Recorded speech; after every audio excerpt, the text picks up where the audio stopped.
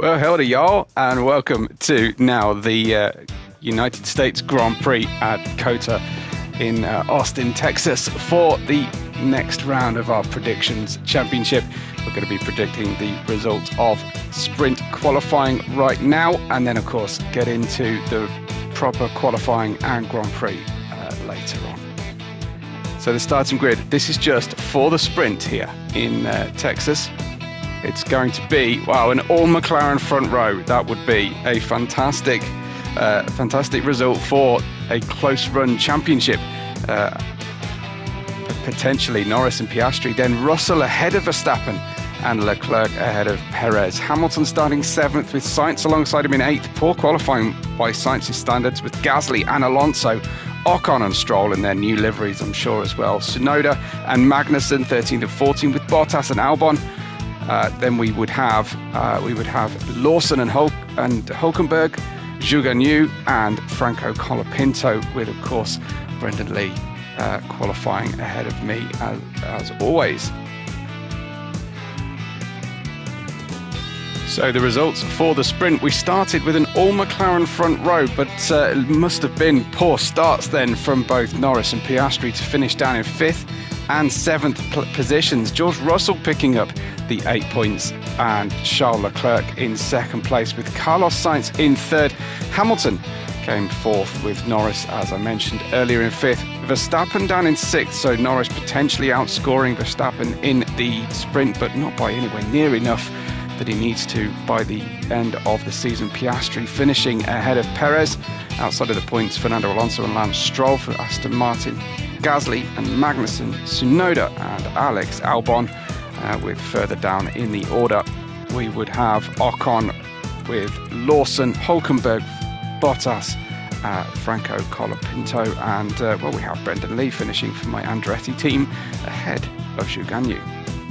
So let's see what went wrong with the start. Then we got five lights on, and it's dropped the clutch and go, go, go away. Well from the start with the McLarens. It looks like uh, it was Perez getting in between his teammate and the Ferrari on the outside, but Russell taking it the long way around the outside potentially. But Norris holding on here. Uh, Perez getting uh, up from the back, from uh, from behind Verstappen to in front of him here in P3. Uh, alongside, uh, side by side, they go once again, but Norris holding on. So it must have happened much further on into the sprint as the drivers snake their way through the early S's section after Big Red um, before the big stop uh, leading up to the longest straight, of course, here at COTA. Down here we go into turn 11 now. This is the all important exit from turn 11.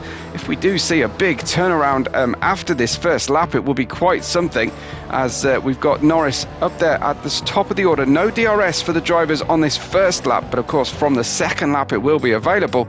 No major moves though coming down the order as we run down into that uh, all important turn 12. Let's see if we can't uh, see any kind of uh, issue here. A 19 lap sprint. Uh, but it looks like very little by way of change other than Perez moving forward uh, in the first lap uh, to the uh, quadruple right hand corner then. And uh, they feed their way through. Nobody making big strides. A fairly undramatic start for the sprint. Uh, and of course, the drivers will have the op- opportunity to change their setup in between the sprint and the qualifying session. But that's how the first lap went down.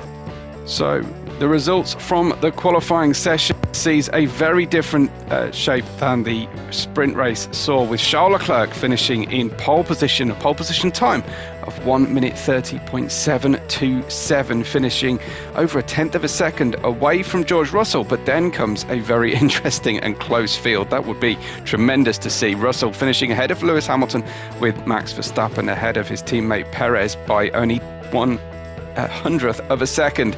Lando Norris in sixth. Uh, uh, not good for our uh, close championship with Fernando Alonso in seventh and compatriot Carlos Sainz in eighth. Piastri down in ninth needs to move forward to play a part in the uh, in the championship uh, positions with Lance Stroll finishing tenth.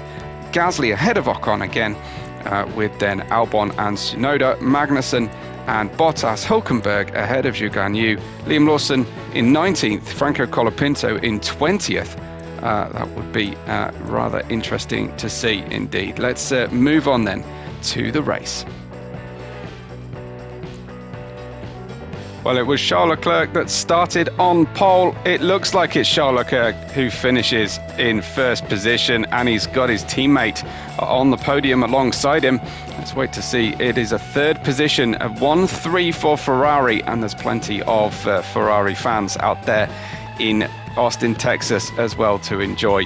It would be a very popular win and good to see another uh, multiple winner of Grand Prix for the season. Max Verstappen finishing in second position and a very happy looking Carlos Sainz there in third place as well. Max Verstappen uh, just looking um, somewhat uh, ambivalent about his uh, experience in being second.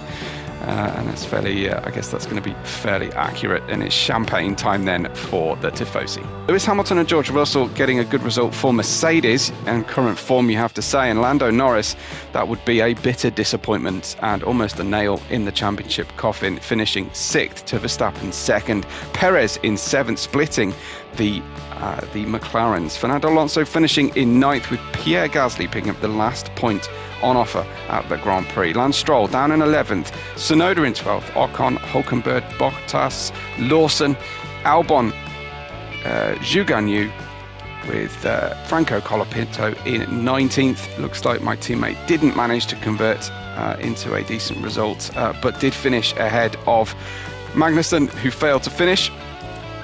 Let's have a look at uh, the other incidents uh, there for no incidents during the Grand Prix.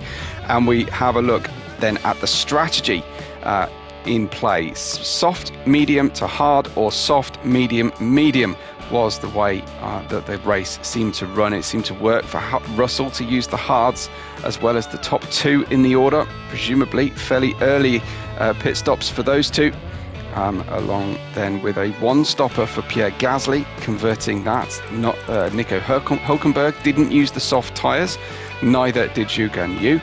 The only drivers uh, to not use those tyres, it seems. And then a mixture we also saw um, from Zhou Guanyu, a medium hard hard option there instead of the medium medium hard from Hulkenberg. Uh, no pit stops have been recorded, um, so we can't see how early uh, they uh, they went in. We could probably get an idea um, from the lap times. Must have been lap 14 uh, for uh, Leclerc to shed the, the soft tyres. Um, running on to then lap 33 before his second stop to fit the hards to the end. Uh, so, really interesting result there for the Grand Prix and on the pit stops. Uh, let's have a look at how our current championship uh, is going to look uh, as a result. Now, this is just taken from the halfway point of the F1 2024 season when we started doing these predictions. That puts Leclerc 17 ahead of Verstappen. Norris uh, only level on points with his teammate.